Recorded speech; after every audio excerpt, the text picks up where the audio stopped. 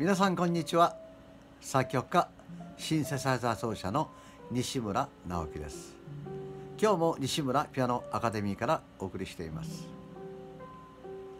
今日2020年9月23日水曜日。今日の数派の言葉は生きている体に感謝。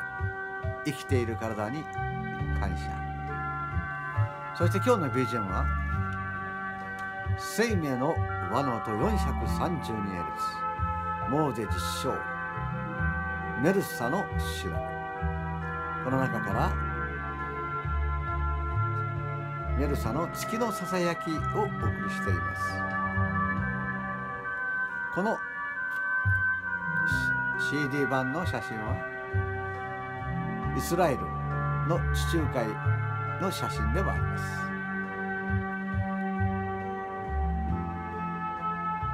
生命の和の音 432Hz メルサの調べ。